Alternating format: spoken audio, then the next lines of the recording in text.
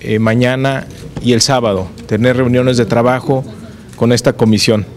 Eh, es importante reconocer que bueno, el PRI eh, aceptó esta agenda, pero sí advirtió que no va a tomar ninguna decisión, es decir, que vienen muy atentos a escuchar con oídos sordos las propuestas.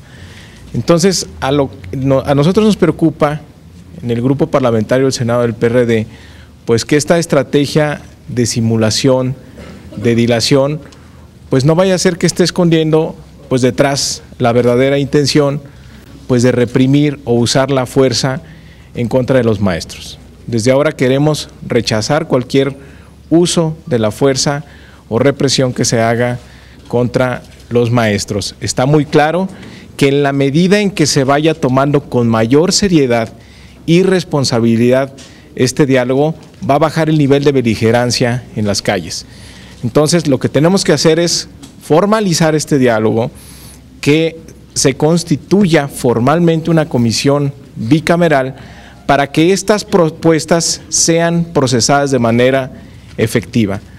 Eh, lo que tiene que ocurrir es que lo que se analice en estas mesas, los resultados de estas mesas, se tomen como resolutivos y que vayan a formar parte de los procesos de dictaminación que se tomen en las comisiones de educación de la Cámara de Diputados y del Senado. Esa es la propuesta que hemos hecho y advertir que esta estrategia de simulación, de dilación, no vaya a estar pues nada más ganando tiempo y que ya se haya decidido otra cosa, a utilizar la fuerza pública en contra del magisterio. Existen Esos grupos parlamentarios del PRI sobre todo que ya hay un dictamen y que ese dictamen ya lleva eh, pues prácticamente el respaldo de la mayoría y que ese sería incluso el que se subiría el martes en la sesión. Pues Entonces, ¿qué se puede esperar si ya lo plantearon así? Mira, esa es justamente la posición que tiene que flexibilizarse, porque eso querría decir pues que nada más estamos perdiendo el tiempo aquí, que nada más estamos engañando a los maestros con un supuesto diálogo, pues que no es diálogo, porque hay legisladores que vienen con oídos sordos. Sí, sí tenemos que flexibilizar y sí tenemos que considerar las propuestas que el día de hoy nos trajeron aquí los maestros y que formen parte del proceso del dictamen, que las cámaras, que los diputados, que los eh, senadores deliberemos qué es lo que se puede tomar de estas eh, pláticas y, para, el proceso de, dictamen. Eh, a mí me, parece también que, que creo que está muy radicalizado el ambiente. Por un lado, por ejemplo, la CENTE sigue pidiendo pues que se abroguen las reformas constitucionales, que se echen para atrás la reforma constitucional, pues cosa que no va a ocurrir, porque no estamos de acuerdo en ello prácticamente ningún partido. Y por el otro lado, pues el gobierno pretende que se apruebe su propuesta como está sin cambiarle una sola coma. Entonces, hacemos un llamado a la reflexión a todos, a los maestros y también al gobierno, que busquemos otra manera de resolver esto. Me parece que podemos construir una propuesta que integre varios puntos de vista, pero sobre todo que tengamos una reforma educativa que verdaderamente mejore la calidad de la educación en nuestro país.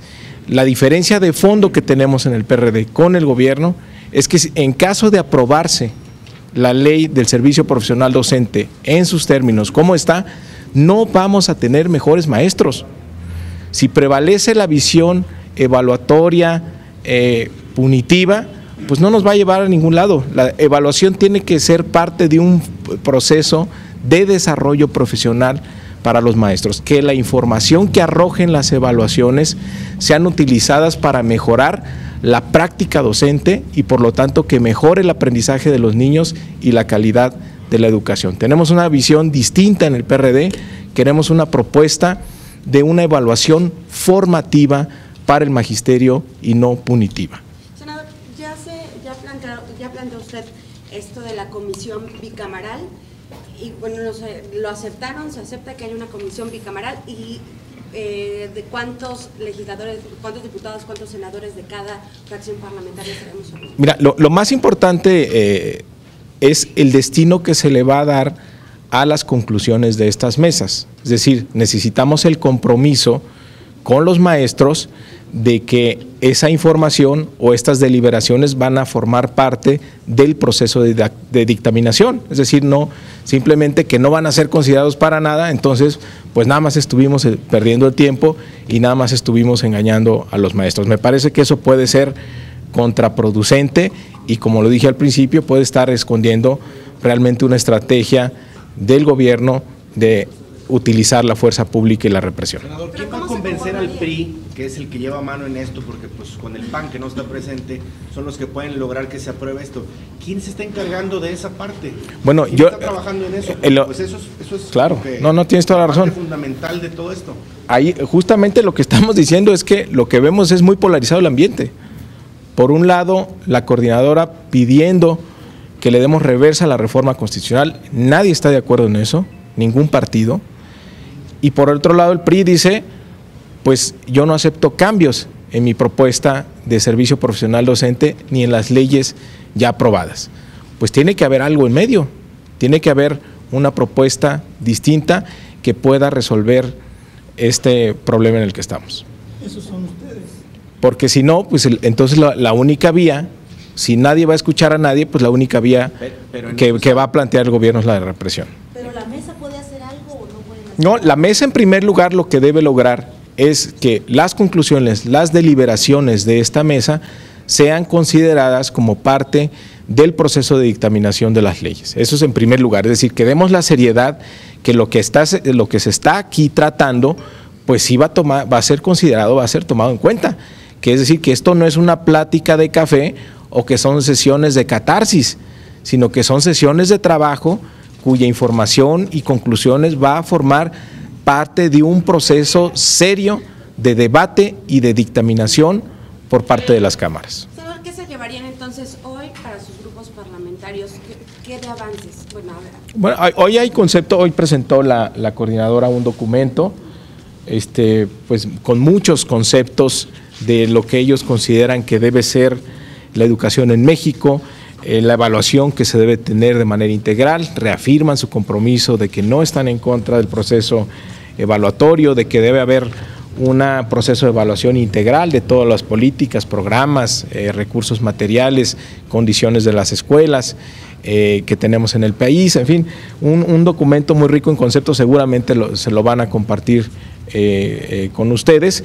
Y bueno, ahí está claro que hay otra visión de hacia dónde debe ir la educación y yo creo que no podemos ignorarla. No, me parece que hay conceptos muy válidos, muchos en los cuales eh, coincidimos y tiene que formar parte de este proceso de dictaminación. Senador, ¿por qué su temor que hay riesgos de que el PRI pudiera optar por la represión? ¿Hizo algún comentario? Pues mira, si, si vienen con una actitud, te, te, decía, pues vienen muy atentos con, a escuchar propuestas con oídos sordos. Entonces, es decir, y si siguen en la idea de que no va a haber absolutamente ningún cambio, que no se acepta nada, pues entonces ellos están pensando en otra salida y es simplemente engañar a los maestros, pues que esto va a producir más frustración, eh, más enojo en estos días.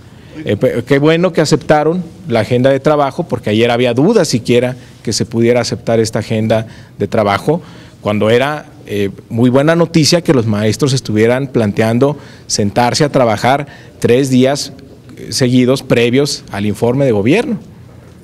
Entonces, afortunadamente, eh, reaccionaron y se aceptó esa propuesta. ¿Los, los periodistas presentes les garantizan, son garantía de que todo esto que están platicando puede ir al dictamen o, puede hablarse de pues que en, dictamen? En ese, en ese debate estamos, justamente.